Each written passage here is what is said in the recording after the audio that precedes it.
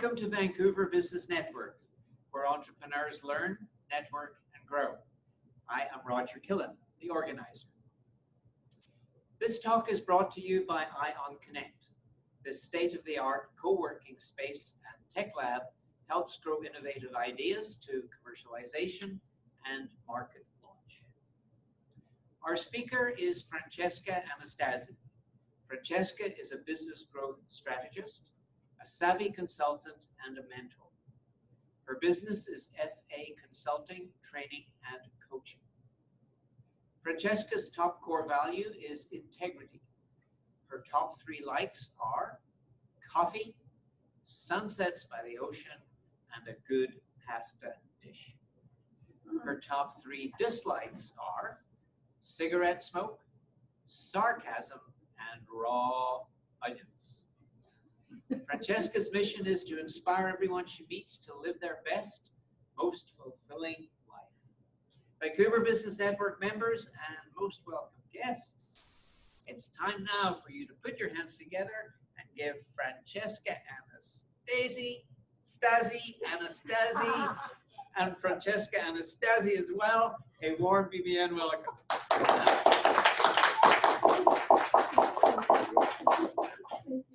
Your audience. Well, good evening, thank you for coming. And I was actually very excited when Roger asked me to speak about lessons I've learned from launching a social movement.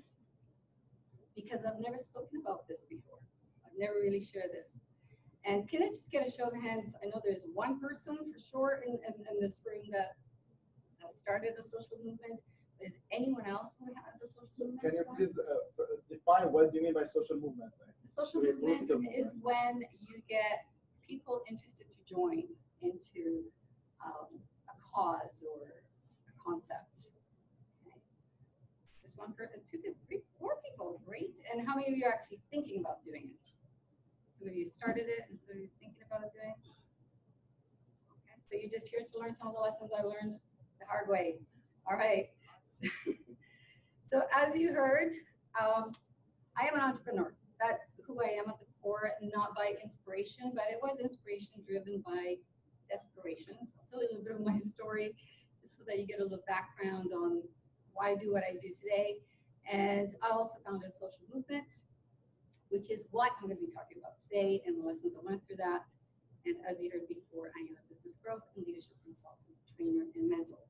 So until 2001, I had no idea, no intention to ever have a business and to ever work for myself.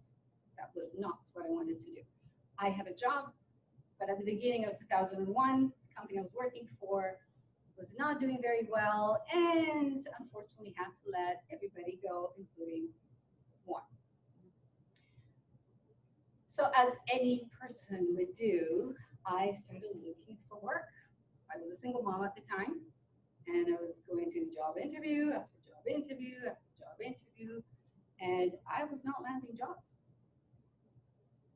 And I was looking for work. I was either not qualified, overqualified, not the right fit, you name it, it just wasn't happening. Fast forward, my employment insurance was running out. And now I'm like, okay, nobody's hiring me. What am I going to do? And September 11 happened. And the interviews stopped completely.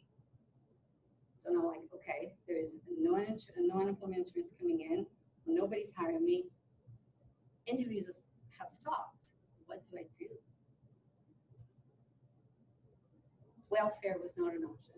So I decided to hire myself. So I did a little bit of searching about what can I possibly do? I've never been interested in, I have no university degree, I've, I've never studied anything about business. Like I said, it was not what I wanted to do. But I love to dance since I was a little girl. And I got to train as a dancer as an adult.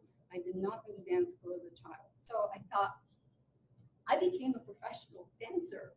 Uh, because I was helping my teachers perform and performing with them. And I was helping them teach for free just because I wanted the exchange in lessons. So I thought, well, you know, I'm helping other people do this on my spare time. why don't I make this my bread and butter?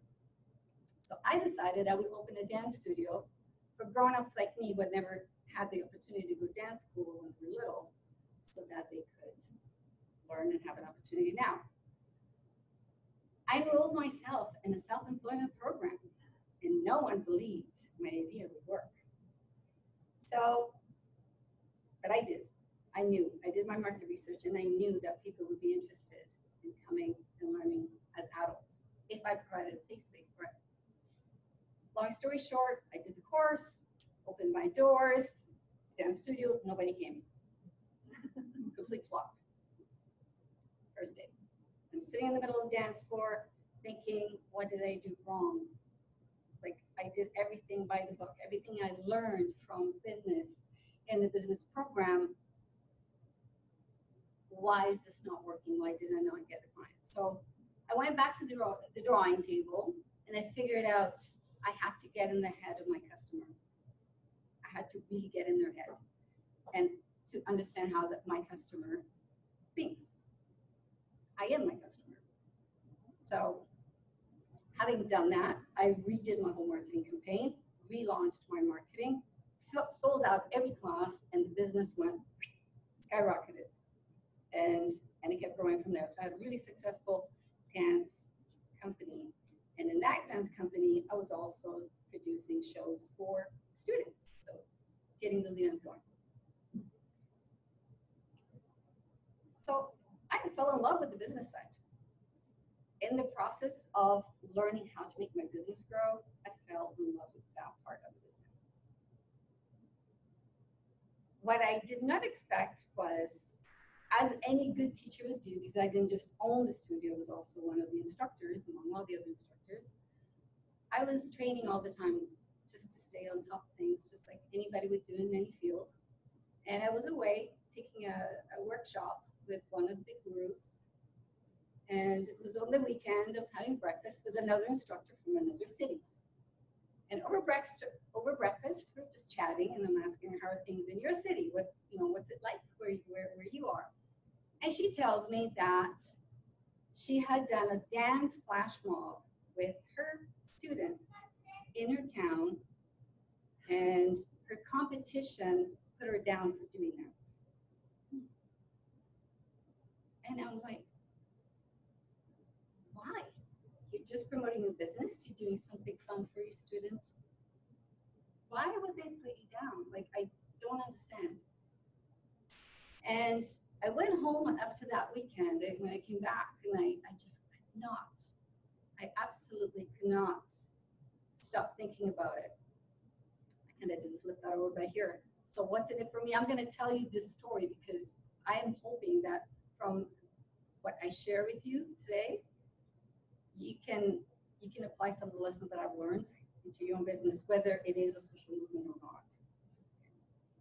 So as I said, it just started with coffee. So I came home and I just could not stop thinking about it. And I kept thinking, there has to be a way to bring competitors together. Why can't we work together? Why can't we cheer each other on? How can we do this? There has to be a way. And I kept thinking about it and I kept thinking about it and I kept thinking about it. And then I had an idea.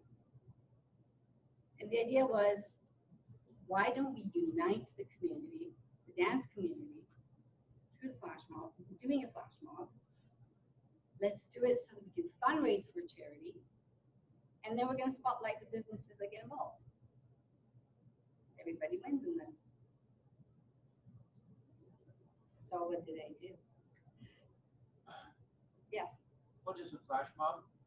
flash mob is, it can be done with different activities, but a flash mob is when a group of people suddenly appears, does an activity in public, and then dissolves and disappears. So it's an unexpected event in the middle of public. How many of you have ever seen a flash mob? Seen videos. You seen videos? Have you ever seen one live? Two people? Okay, so that you, you seen them as dance flash mobs, you see them as freeze da- dance mobs. What kind of mobs have you seen? at the 2010 Olympics in The 2010 flash, that was a dance flash Yes. mob. It was a zombie flash mob. zombie flash mob, An orchestra. an orchestra flash mob. So you see they come in different forms. You see seen one. I've seen one before. So wedding flash mob. It's a wedding flash mob. Cool. Was it cool? So I wanted to unite the community, and I thought, okay, she did a flash mob, and the community put her down. Let's let's get the community involved. Let's make it part of what we all do together. Now I have to give you a little preamble because when I had the studio at the time, we had all kinds of dance dance forms, dance styles. We had ballroom, we had Latin, we had hip hop, we had ballet, we had jazz. We also had belly dance. So I thought, we're gonna do the belly dance because it's the one dance that most people don't see out there in the public. And if we're gonna fundraise for a charity, I chose a charity that was really near and dear to my heart, and that was shelters for victims of domestic violence. And then I figured all the businesses that will be part of the flash mob, so AKA the teachers, uh, would benefit and the competition would benefit. So if they get involved, they get the promotion back. So they win. And anyone else who wants to sponsor also wins because we would spotlight them as well. And please feel free to ask questions anytime. How was I going to make this happen? My only experience at this point was eight years of running a dance studio, producing dance shows inside a theater, local. And I wanted to do this flash mob here in Lower Mainland with all the competition, my own competition here in Lower Mainland. So what I did, I called my competitors one by one. I did not send out an email and I did not blast it. I wanted to contact each one of them and I said to them, I, I'm holding a meeting and I need you to be there. It's very important. I did not tell them why. So I set a date, held a meeting, and everybody came. And I shared my idea with them. And I said, What do you think about us coming together? You tell your students, I tell my students, and we're going to do flash mobs. And we're going to do them in different areas here in the Lower Mainland. So time I was in uh, Port Coquitlam. So we'll do Port Coquitlam, we'll do Coquitlam, we'll do Port Moody, and then we'll do Burnaby, and we'll do New West, where all the different teachers were located. So that their area would be spotlighted, so it'd be a way to promote their businesses as well. And they surprisingly said, yes, they liked the idea a lot.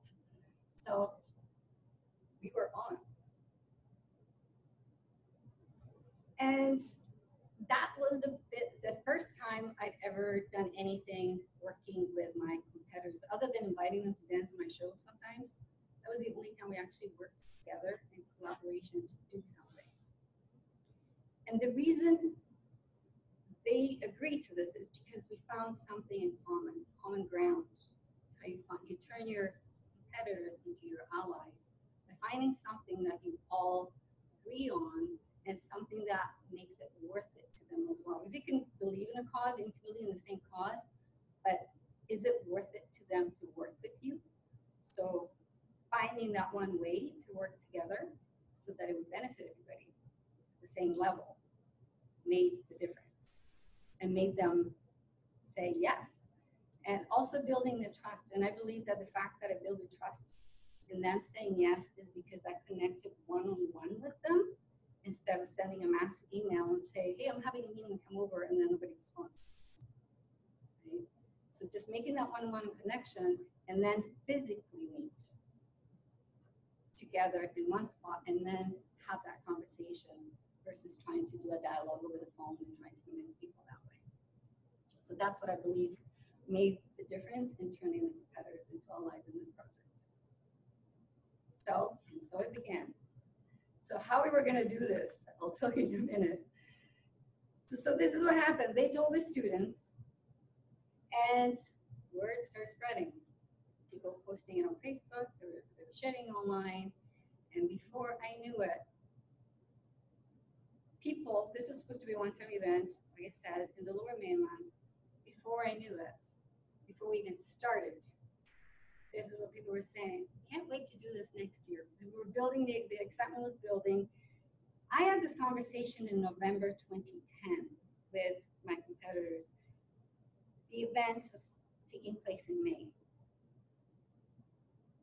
Before May happened, this is what was happening. I can't wait. Everybody was excited about doing this big flash mob. And what happened was exactly that. The unexpected happened. I had registrations opened for people to sign up in the lower mainland. 500, more than 500 people signed up, and 375 of those registrations came in in the last six hours before deadline. I was not set up for that. I was not expecting that response. And people after we, I closed it, it was literally, I had finished teaching a class, it was 10 p.m. I go to the front desk, I'm looking at the computer and I open my emails because we were getting the registration um, payments through PayPal. So when you get a payment through PayPal, what happens? You get an email, right? You get an email. And I'm looking at the emails and it, it, it was going like this, bing, bing, bing. And I'm like, oh my goodness, like, what am I gonna do? I have to process these. And the thing is, this had gone outside of the lower mainland. So now there were other locations that were saying, we want to do this in our town as well. Can we do it as well? I'm like, sure. Registration's coming to me though. So I'm processing, I'm supposed to process all this. You have to keep in mind, I have a deadline. And I'll explain to you in a minute what this line, the deadline is about. The deadline was March 31st for the registrations, even though the event is in May. You'll understand in a minute why, why this big gap.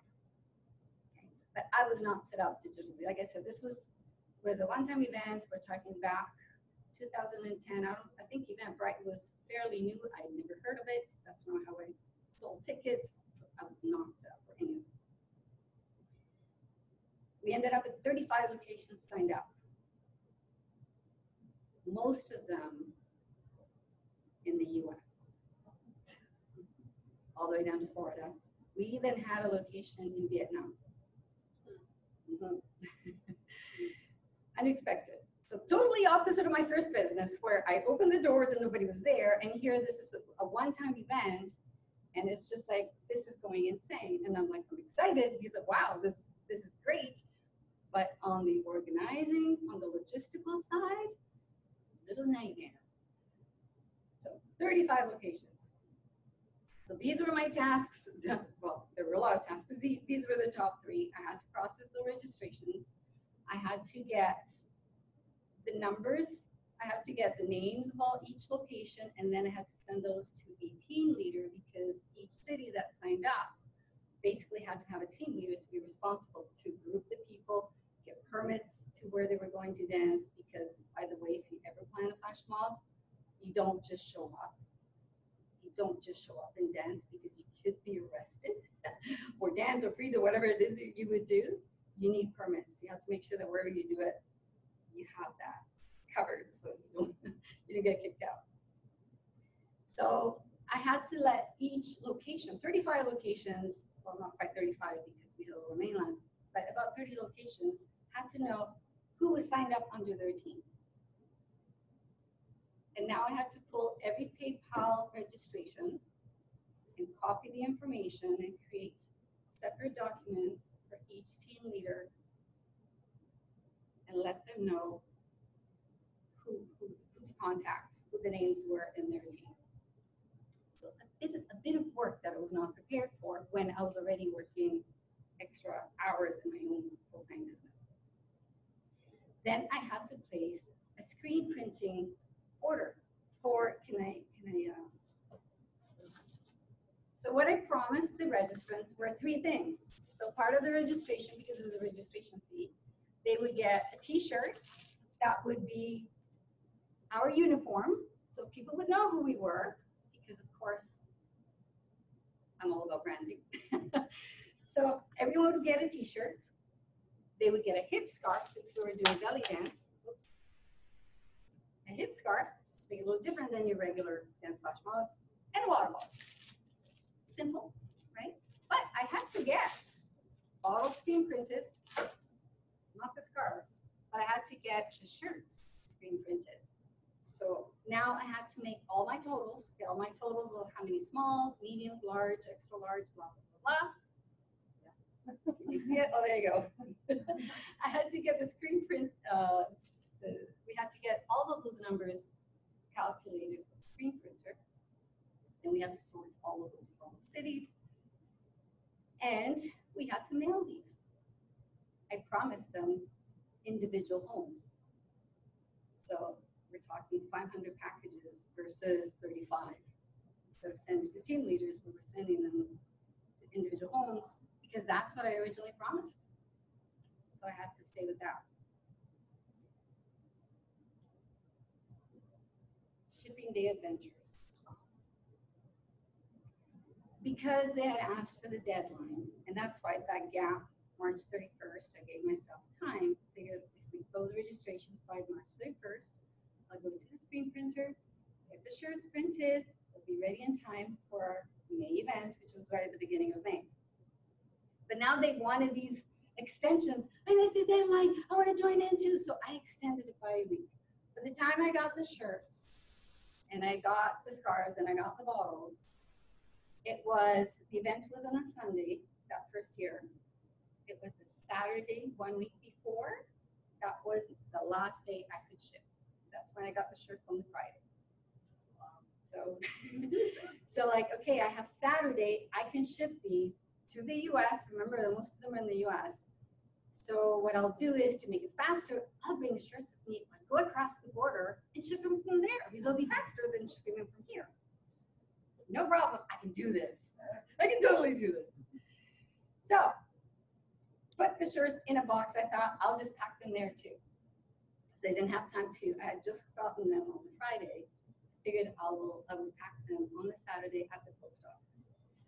And of course, come to the border. Why are you coming across the border? They ask you the question. And telling them, oh, I'm mailing these shirts. I have no idea what I'm, I've never done this before. Completely ignorant, right? So they sent me in a special lane where all the trucks go with their merchandise. And I have to go into this office. And have you ever go into the office? You know what I'm talking about? Okay. So I go in there and there are a few border officers and they're doing their own thing. And I'm like, what am I supposed to do here? And nobody's helping me. And I'm like, excuse me. And they're not giving me the time of day. And I'm like, uh, press for time. Like, today's my last day. I need to get shirts out, right? So eventually I get some attention. They get me to fill out some forms. They really made me waste a lot of time in there that I could not afford. Managed to go through the customs. And now I had to find packaging. I no problem, go to Staples. Those Staples, they do not have over 300 packaging for my threesome here to fit all of that. And I was going from every possible store you could think of, Walmart, any any store, and I could not find what I needed. Eventually found this tiny little shop in Ferndale. So if you guys know where it is, it's just across the border. Uh, little like gift shop, and they had these. Um, they look like large envelopes, but they're made out of plastic. So this is a plastic envelope. And when you put these in, they look like a big bag of chips. Because unless you're pressing the, the air but that's what it like. But they had exactly the amount I needed, so I bought them, rushed to the post office. And I don't know if you if you've ever been to Bellingham Post Office, that picture is the actual post office where, where I went to. Anybody ever been there? The Bellingham Post Office? You don't know what I'm talking about? That one there? Recognize it? No? Okay. So if you happen to go to Bellingham to the post office, I'll describe it to you. When you walk into the building, on the right at the front is where all the PO boxes are, where people rent their boxes. On the right side is a glass door, which is the actual post office where you get, where you ship your stuff. And then on the left side, if you, if you kind of see this whole side with all those windows, that's like a big long alley of glass and a counter on the line. It's about 40 feet long. I don't know, I'm not good at measurements, but it's probably about 40 to 50 feet long. So what I did eventually, when I finally got there, I set myself up where this, this big long counter was. Start pulling out all these shirts, trying to organize them all by city first. And organizing all the, the bottles, the sizes and all that stuff, labels, because I had all the pre-printed labels. I had done that, thankfully. I had pre, pre-done those. And so I start packing them. I had a helper with me. So we start packing? Not disturbing anything, it's kind of out of the way. So we, we start doing all our packaging and these things start getting bigger and bigger. So we have these piles of these packages that look like big bags of chips. Okay, these big bags of chips. Don't worry, it'll turn on by itself. So I went to, at one point, it's like one o'clock. And I go across the corridor, the, uh, the, the gallery, whatever you want to call it. And I go into the post office and I had a question and I said, listen, I have a whole bunch of stuff that I need to mail. Uh, where do you want me to put them? Do I go to the back? Do I come to the front? And it's like, no, you can bring them to the front. How many pieces do you have? And I'm like, well, I have over 300 like, okay, well, we're, you know, you know, you have, where, where are you shipping exactly? So I showed the one package and, and the guy says, well, you have to, uh, you have to fill out these little forms.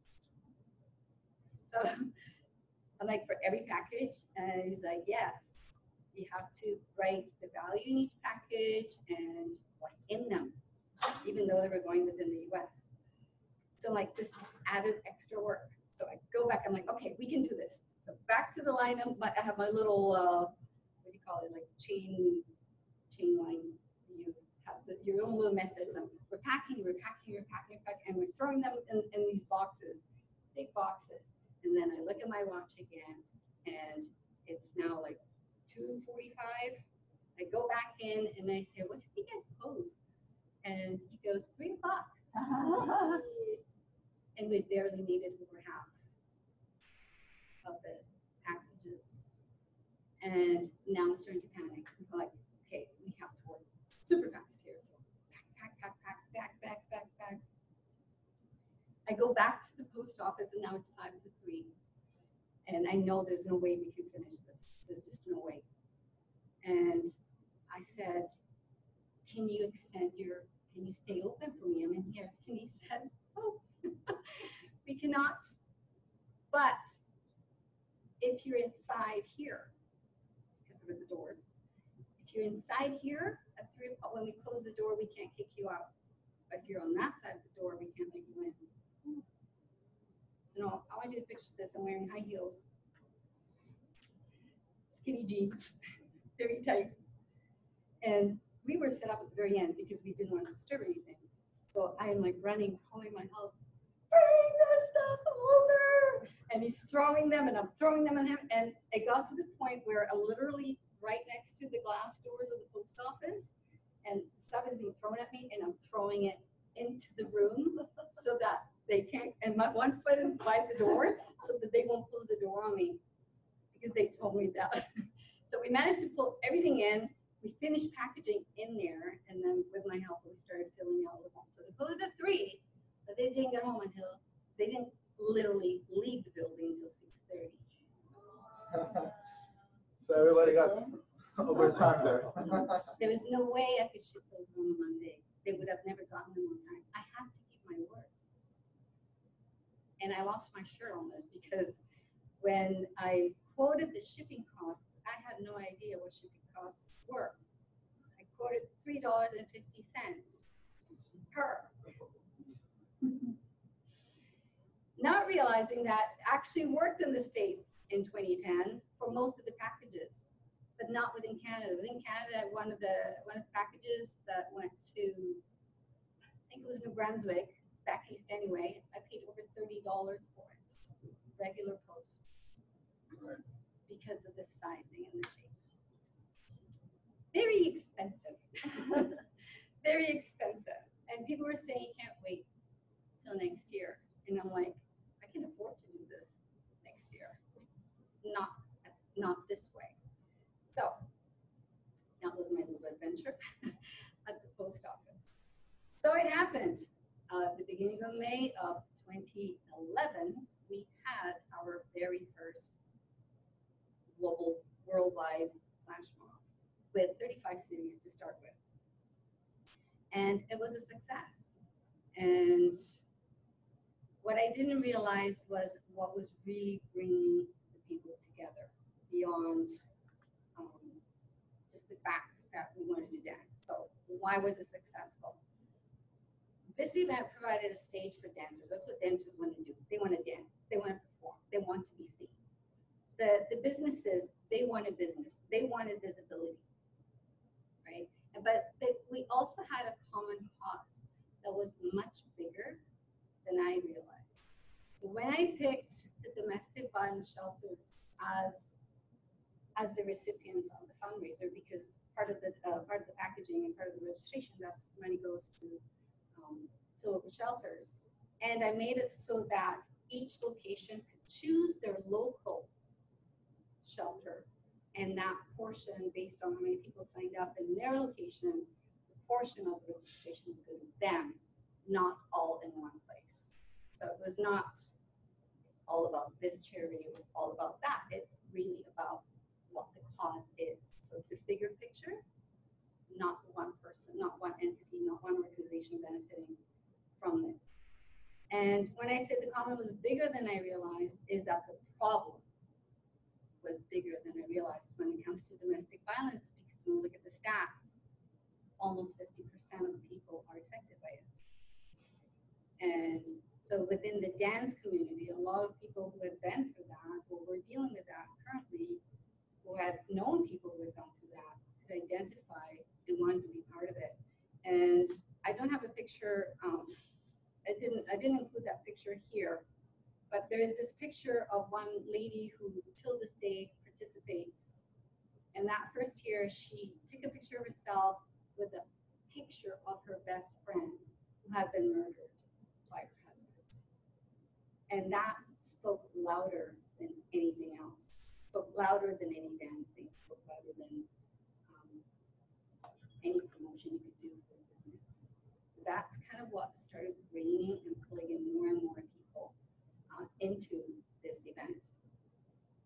And also, people resonate with values. Values that, you know, of the event are community, having fun, creating awareness, integrity, and leadership that people are leading. So it all felt good. It still feels good. Any questions so far? Uh, just to prove the next point, if you would mind, can I get you guys to stand up for a second? I want you to imagine you're waiting for the bus. And the bus is just not coming. And you've been now waiting for over two hours. It was supposed to be here two hours ago. And what happens when you wait? You just start getting tired and you shift your weight. So I like you kind of shift your weight to whichever leg is the most comfortable. I think you're Okay, now you're just like really tired, right?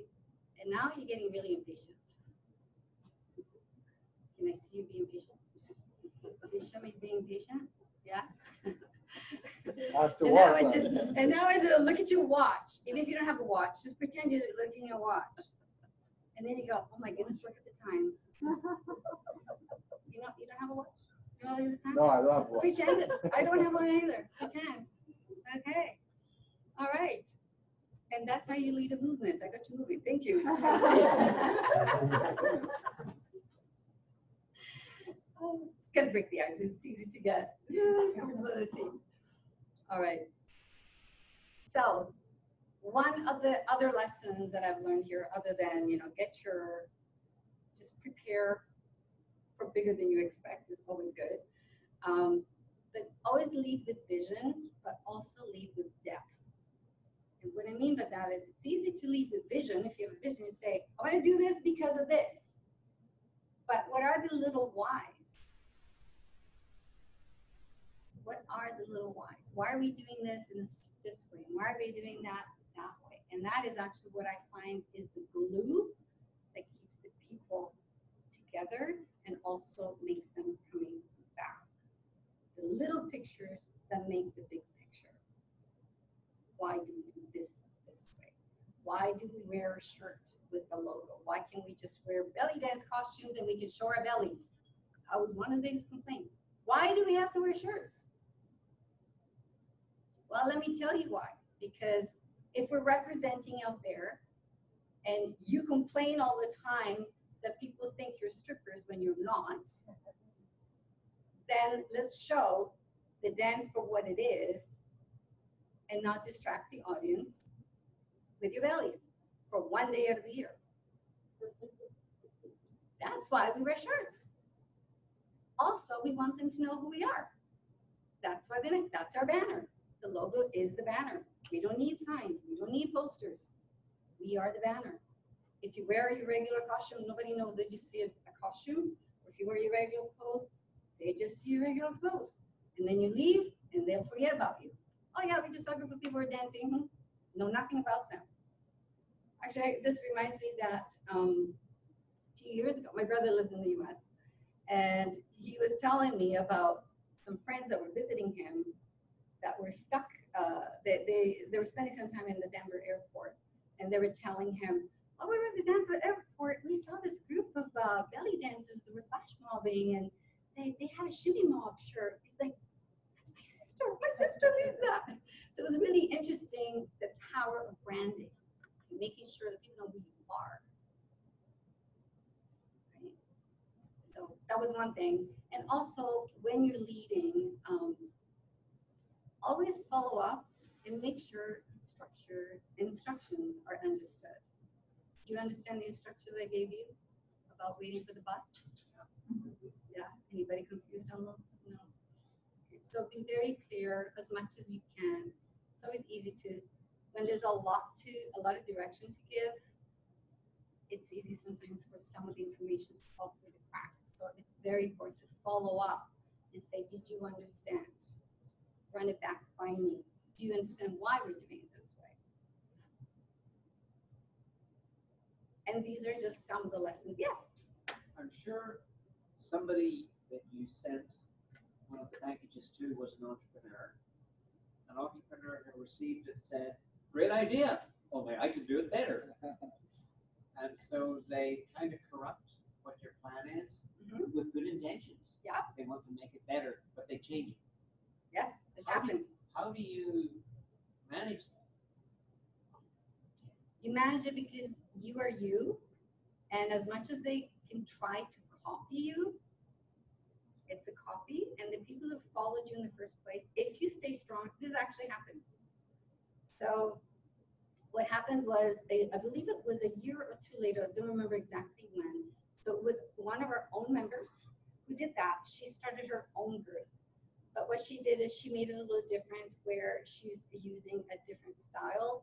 And the way we do it is we, when, when somebody signs up, this is how it works. When somebody signs up, they, they pay the registration fee and then they know they're gonna be dancing. They know they're gonna receive the shirts. We don't send the bottles and the scarves anymore now. It's just the shirts because we have to make it affordable. and, um, but what they also do is they get, uh, from us, they get a video tutorial. So they create an account. There's an account on the website. Now it's a whole different story. We've grown. Everything's automated. Um, but what they do is they have access to video tutorials of the dance because we dance the exact same dance to the same music everywhere on that same day. And the way she's done it differently is they use they choose the song, but each team can dance their own dance, and they don't wear a shirt. They wear a costume. So once they're done, nobody knows who they are. They just a a group of belly dancers that was was doing it, and they don't do it for charity either. Um, if they did, if somebody wanted to do that, they're more than welcome to. It's a lot of work for very little money. So is it worth it to them? If they can do it better, good for them, then I have something to learn. So, yeah, So I think I probably missed uh, part of your presentation where you were talking about. Uh, I was just wondering, how did you drive a lot of uh, leads to your events? Like you said, like you just sold out before even the deadline, right? Mhm. So uh, what sort of strategy did you use that uh, went viral The, the strategy was when I had the meeting with my competitors and I explained to them what I wanted to do, and they said, yes, we'll do it. I told them to tell their students, obviously. Their students start talking about it to their friends and to their other belly dance friends, and it just spread. It Word of just, mouth, like, all word mouth, not one penny spent on marketing. All word mouth. did you use any, uh, you, you use social media, right? It, it was, it was only Facebook. We used only Facebook to, yes. But I did not know that this was going to be that big. We just, yeah, it was supposed to be a one-time thing, Lower Mainland. So you didn't even have a Facebook fan page or anything, It was just like There was no Facebook fan page, there was nothing. nothing, just you post on your own personal Facebook. There was, there was a Facebook group, uh, that was for belly dancers, but there are multiple groups, so people were sharing the information. I was not telling people to, to share it, they were sharing it.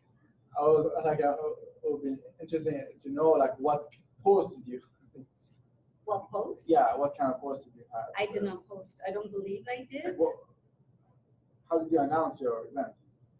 I only told my competitors that we were gonna do it here. Two people told two people, and so on and so on and so on.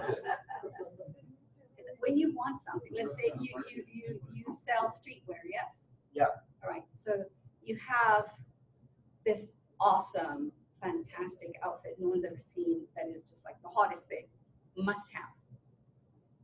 I know about it, I'm gonna tell my friend about it. My friend loves the same idea, is gonna tell the other friend. So it just spreads, the word just spread, just like that. Interesting, uh, people even from Vietnam, they, they turn their events. so. somebody told me that now, yes. It's, it's a very small community, the belly dance community is a small community, but it's spread all over the world. So we have that. Very connected. Yeah. So these are some of, does that answer your question? Yes, uh, I, would like to do something like, like what you did, you know, some, some experience, it's not that easy. when I look back, I think part of the reason it, it spread so quickly was because it was pre-algorithms. And everybody could see everything you posted, everything. It was not as massive social media as it is now. So that was back in two thousand. 10, 2010.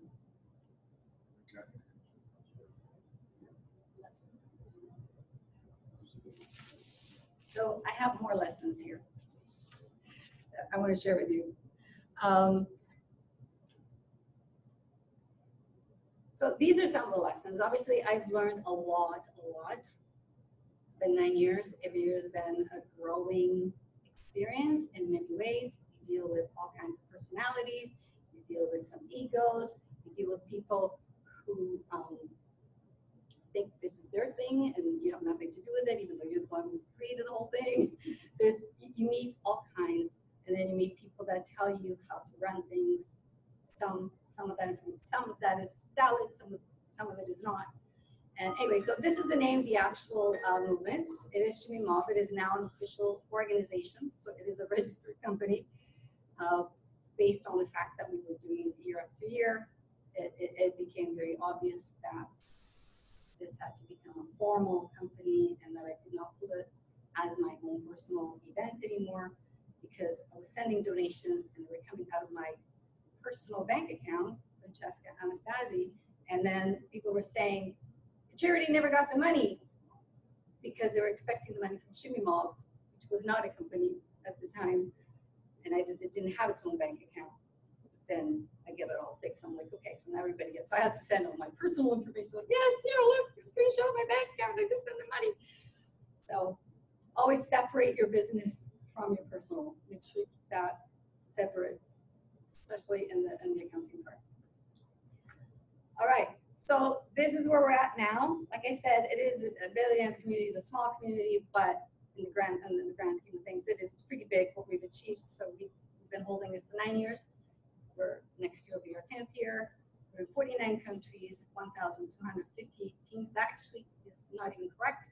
We have more than that. We've surpassed the 1,300 uh, number as of yesterday. And uh, right now it's at 13,553 participants. So that's what Shimmy Mob is.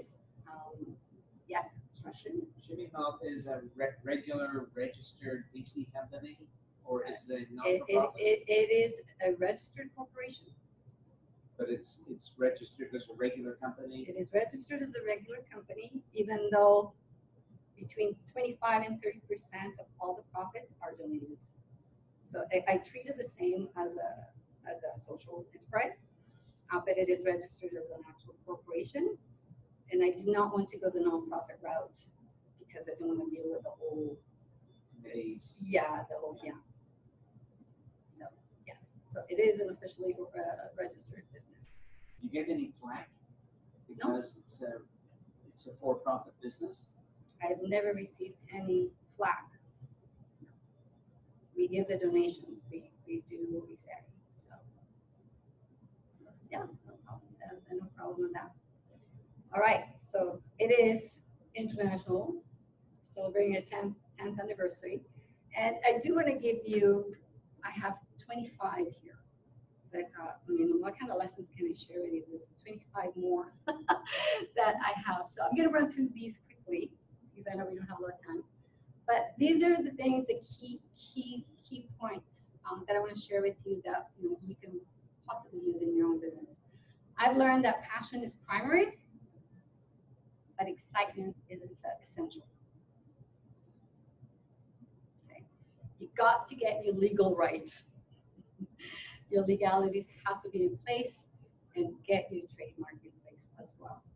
Because that's one thing actually that also we um, we have to face. A lot of people wanted to use our logo for their own thing or the name for their own little. In fact, I've heard of people saying, "Oh, we we did Shimmy Mob," and I'm like, um, "I don't see you guys ever registered."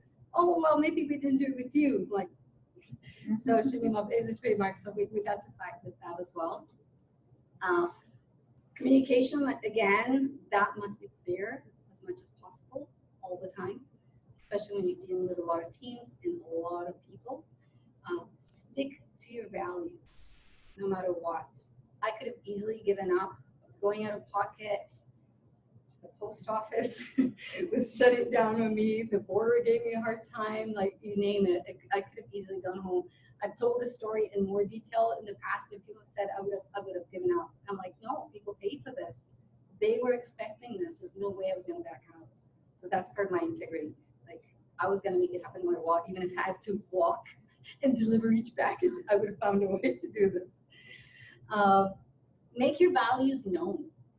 Make sure people know what your values are, and whatever the challenge is, you can get about, uh, you can get above it. You can figure a way out. And I know you're all entrepreneurs and you already know this part, but it's good to be remembered that sometimes when things are getting tough, you just go, oh, but you're always you're always able to be above any challenge and solve it. Um, and as you know, you have to hold the fort. You always, no matter what, have the ability to influence people. That's what I've learned with this event. Always. So even when you feel like people are not listening to you, then it's just time to step back and understand and ask yourself, why are they not? What's not clicking? It's all me. I'm not communicating properly if I'm not getting that response. Um, creating a movement is no different than running a business. It's exactly the same. They're different in the shape of a business, but it's the same. The principles are the same. Delegation, when you go big, is very important. Um, make sure you don't abdicate. You've heard that delegation is not abdication. You want to make sure that when you delegate, you still stay on top of things, that you don't get out of the picture. One thing that I did um, that now looking back, I would not do again is when I started, when we did the first year, and even the second year and the third year when we came back and we repeated the events, I kept saying, this is not about me. So I made my face invisible. My face was nowhere on the website. It was nowhere. Um, I always communicated without really having much of a presence. I gave all the presence to the team leaders, and that was actually dangerous in some areas where the team leaders started claiming the event as their event and not ours. It started creating some problems, and I had to do some taming the fires and putting out fires, and then deciding, okay, I can lead, still not make it about me, but I need to make sure that people know who's at the head of this. And I have to make myself visible, but also stay humble enough to not say, hey, I'm the one who created all this, because it's really not about me. Always bring back the focus to what it is that we're doing. Um, it is our responsibility to be role models and lead by example. Um, cannot do it alone. Cannot do it alone. I could not have done it. I could not have done this alone without getting the competitors on board. I could not have done this alone going to the post office and getting all this stuff shipped. I could not have done. It, it was it would be impossible. So get help. As entrepreneurs, we tend to want to do everything ourselves as much as possible, especially women don't know what it is with us. We, we, we feel like we can do it all. Men are men are better at delegating. So I think it's very important to always remind ourselves to delegate, separate, and do what you're really good at. And let the things you can't do, just let other people do that for you. Um, have an advisory board. I started this only recently. All these years, and getting so I've always gotten the feedback from the participants every year, asking feedback because that's important. I want to know everything. What did you like? What didn't you like? Why? What can we do better? Always, what can we do better? But just recently, I added an advisory board, so I picked different uh, team leaders from different parts of the world, and they are my advisory board from wherever they are because they're in the trenches. And I need to hear from the trenches, and I need to hear from the leaders as well as the participants. Okay, so you want that input constantly and also the advice and different ideas and different perspectives. Because my way is a great way, but is not the only better way. There's always a better way, even if you have the better way. So it's always good to be open and try different things. And also be very wise not to just try everything and be careful how you do things. That's why an advisory board is really good. Great way to get some opinions and feedback in a group setting without feeling that you have to do anything they say if you don't agree with it. So it's just so important. Uh, patience, consistency, conflict management, and resolution skills are a must when you're dealing with a lot of people, especially when all of these people are working together. If you're working with a lot of people individually, then it's just between you and that person. But when you have these groups, you have to be prepared that some drama will happen, some ego will happen, some personality differences will happen, and also as a leader in your company or your movement, or whatever it is you do in your business, in your clients, you have to be very perceptive and open to understanding and open to putting yourself in the shoes of the other person and understand that they're all walks of life. We don't know where this person was growing up. We don't know what culture they've been around. We don't know what they've been experiencing. Why are they acting the way they're acting? So it's something that's really taught me. Like um, I've been dealing with thousands and thousands of people, and this comes up every year. Get, I get all kinds of personalities. It's very easy to go and get upset over somebody's reaction. You just have to step back. Okay, let's let's go top to bottom. Why is this person acting? What what what are the reasons, and how would I feel in that position? So why is that reaction happening? And how can I best handle it? So that we're all happy at the end. So getting putting yourself in the other person's shoes. And I'm gonna skip over some of these, but you must cultivate, this is a, is a given, but you have to constantly cultivate and nurture your connections inside and outside. It's a constant. So in my case, with Shimmy Mob, it's a yearly event. So it's very easy to say, we have our event in May, do the promo, we get the registrations. After the event, we get the videos, we get the pictures, we can rest for six months. So we start doing registrations again and then start again. But we do that, we lose the momentum. So I have to stay connected, and nurture all the people that participate, and to keep them in my group. Continue the conversations in the group, continue on the pages, send emails. I don't bombard my people with emails because the, the, they, they won't read it. They're dancers, they're outside, they're having fun. They don't want to read emails. But so the emails they get, they know that when an email comes, it's because something's coming up. So they will open it. Registrations, or deadline, or whatever it is, but not bombard them with too much information. And um, yeah, always stay connected, keeping that momentum, and then rebuild the excitement for the event, and then the after event. Always have that line of connection versus going up. And then it's hard to rebuild the momentum to the next one. So always stay connected that way. And last but not least, whatever you do in your business, whether it's local or not, have fun changing the world. And that's it. So if you have any questions? How about a little demonstration? A little demonstration of, Of what? that's a different fee. Good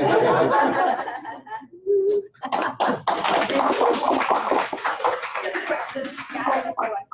So the, they used to be your competitor. Are they still competitor or they are like more people working together? Are they? They're not my competitors anymore. Are they? I tell you why, because I don't teach anymore. Uh, So they're not. They're not. They're really not. Um, so they're not my competitors anymore. Francesca, that was probably one of the most entertaining stories that we have had at Vancouver Business Network in a long, long time. So thank you very much You're for welcome. sharing that story with us. And together, we need to thank Ion Connect for making this reproduction possible.